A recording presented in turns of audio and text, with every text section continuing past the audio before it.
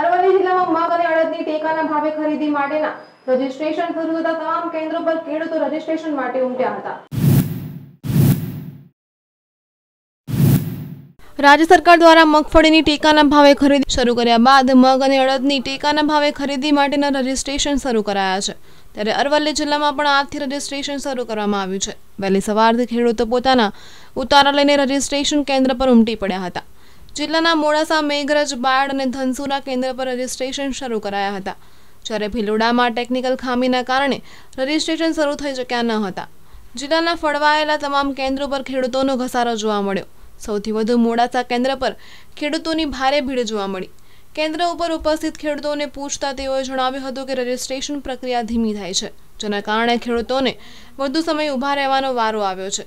ત્યારે કેન્દ્ર પર હાજર કર્મચારીઓએ પણ ખેડૂતોની ભીડને પહોંચી વળવા માટે ટોકન ઇસ્યુ કર્યા છે. સવારે બે કલાકમાં ત્રણસો પચાસથી વધુ ખેડૂતોના રજીસ્ટ્રેશન માટે ટોકન આપવામાં આવ્યા છે. ત્યારે સરકાર દ્વારા અડદ અને મગની ખરીદી માટે એક હેક્ટરના પાંત્રીસ મણની મર્યાદા નક્કી કરેલ છે. જેના કારણે ખેડૂતોમાં નારાજગી જોવા મળી હતી. ત્યારે જિલ્લાના માલપુર તાલુકાના ખેડૂતોને માલપુરમાં કેન્દ્રના ફળવાતા ત્રીસથી પાંત્રીસ કિલોમીટર દૂર આમથી તેમ ભટકવાનો વારો આવ્યો છે. ત્યારે માલપુરમાં મગ અને અડદની ટેકાના ભાવે ખરીદી માટે કેન્દ્ર ફાળવવાની માંગ કરી હતી. Bureau report NS Gujarat news Aravalli.